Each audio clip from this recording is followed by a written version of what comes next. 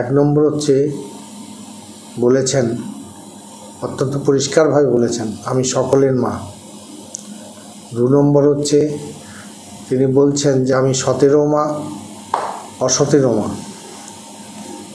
তিন নম্বর হচ্ছে তিনি বলছেন যে আমি শরতেরও মা, আবার আমজাদেরও মা। ব্রহ্মজ্ঞ পুরুষ, স্বামী শারদানন্দজিরও মা, আবার তুতে ডাকাত আমজাদেরও মা চার নম্বর হচ্ছে তিনি বলছেন তার যে শেষ কথা, শেষ বাণী, সেটি হচ্ছে যে যদি শান্তি চাও, তাহলে অপরের দোষ দেখবে না, নিজের দোষ দেখো। আর এছাড়া মা অভয় দিয়ে গেছেন তার সব ছেলে মেয়েদের, যে যখন চারদিকে অন্ধকার দেখবে, হতাশা নেমে আসবে, তখন হতাশাগ্রস্ত হবে না। জেনে রেখো, তোমার একজন মা আছেন সে মা সৎমা নয়, পাতানো মা নয়, সত্যিকারের মা। আমায় স্মরণ করো। শ্রী শ্রী মায়ের পঞ্চশীল এবং আজকের দিনে বিশেষ করে এই যে মায়ের বার্তা, এটি চারদিকে প্রচারিত হওয়া উচিত, প্রসারিত হওয়া উচিত এবং প্রত্যেকের জানোয়ার প্রয়োজন আছে। আজকের অনুষ্ঠান মঙ্গল আরতি দিয়ে শুরু হয়েছে। ভোর সাড়ে চারটায় শ্রী শ্রী ঠাকুরের মন্দিরে মঙ্গল আরতি হয়েছে। চারটে পঁয়তাল্লিশে শ্রী মায়ের মন্দিরে মঙ্গল আরতি হয়েছে। এবং তারপর বিভিন্ন রকম সাংস্কৃতিক অনুষ্ঠান আছে। ভজন, গীতি আলেখ্য, মায়ের কথা থেকে পাঠ ইত্যাদি। আর এই অনুষ্ঠান চলবে সন্ধ্যারাত্রি পর্যন্ত। সন্ধ্যারাত্রি হয়ে গেলে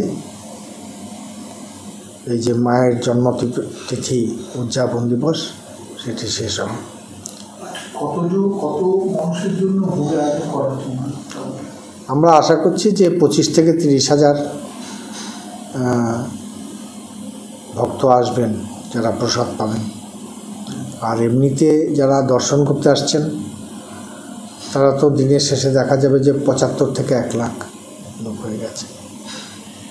আজকে একটু করোনা কাল, দু বছর করোনা কাল পেরোনোর পরে আজকে এরকমভাবে মানুষ আসছে। কেমন লাগছে আমাদের খুবই ভালো লাগছে এবং সবচেয়ে বড় কথা হচ্ছে ভক্তদের খুব ভালো লাগছে। তাদের সঙ্গে কথাবার্তা বলে মনে হচ্ছে যে এই যে দু বছরে অতিমারির সময়টা গেল, তারপরে একটা খুব ওয়েলকাম রিলিফ ওরা এনজয় করছেন। আর বিশেষ করে মায়ের জন্মতিথিতে ভক্তরা মায়ের ছেলেমেয়েরা ওরা তো আসতেই চাইবেন মায়ের জন্মতিথি উদযাপন করবার জন্য। সেই সুযোগ তো ওরা পাননি দু বছর। তাই এবারে একটা একটা অতিরিক্ত উদ্দীপনা আমরা দেখতে পাচ্ছি। শুধু বেলুর মঠের নয় সারা ভারতবর্ষে রামকৃষ্ণ বিবেকানন্দ ভাবান্দোলনের দ্বারা পরিচালিত এক হাজার কেন্দ্র আছে। এবং ভারতবর্ষের বাইরে অন্তপক্ষে চারশো কেন্দ্র আছে। তো সমস্ত কেন্দ্রেতে হচ্ছে যারা রামকৃষ্ণ মিশন বা রামকৃষ্ণ মঠ বেলুর মঠের অ্যাফিলিয়েট নয়, অনুমোদিত নয়, কিন্তু তারা ভাবপ্রচার, রামকৃষ্ণ বিবেকানন্দ ভাবপ্রচার পরিষদের সদস্য। অথবা তাও নয়, কিন্তু রামকৃষ্ণ নামাঙ্কিত আশ্রম সারা পৃথিবীতে। যেখানেই আছে, সেখানেই আজকে মায়ের এই জন্মতিথি সারম্বারে উদযাপন হচ্ছে। এতে ভক্তরা মায়ের ছেলেমেয়েরা ওরা তো আসতেই চাইবেন মায়ের জন্মতিথি উদযাপন করবার জন্য। সেই সুযোগ তো ওরা পাননি দু বছর। তাই এবারে একটা একটা অতিরিক্ত উদ্দীপনা আমরা দেখতে পাচ্ছি। শুধু বেলুর মঠের নয় সারা ভারতবর্ষে রামকৃষ্ণ বিবেকানন্দ ভাবান্দোলনের দ্বারা পরিচালিত এক হাজার কেন্দ্র আছে। এবং ভারতবর্ষের বাইরে অন্তপক্ষে চারশো কেন্দ্র আছে। তো সমস্ত কেন্দ্রেতে হচ্ছে যারা রামকৃষ্ণ মিশন বা রামকৃষ্ণ মঠ বেলুর মঠের অ্যাফিলিয়েট নয়, অনুমোদিত নয়, কিন্তু তারা ভাবপ্রচার, রামকৃষ্ণ বিবেকানন্দ ভাবপ্রচার পরিষদের সদস্য। অথবা তাও নয়, কিন্তু রামকৃষ্ণ নামাঙ্কিত আশ্রম সারা পৃথিবীতে। যেখানেই আছে, সেখানেই আজকে মায়ের এই জন্মতিথি সাড়ম্বরে উদযাপিত হচ্ছে। মহারাজ করোনা কালে আপনার সঙ্গে যতবার কথা বলেছি আপনি বলতেন যে ভক্তের জন্যই ভগবান। সেই ভক্তরা আসতে পারছে না, কষ্ট পাচ্ছেন আজকে তো সেই ভক্তরা সবাই আসছেন, এই তো খানিক্ষণ আগে আমি বললাম যে ওদের মধ্যে একটা অতিরিক্ত উদ্দীপনা দেখতে পাওয়া যাচ্ছে। ওরা অত্যন্ত খুশি।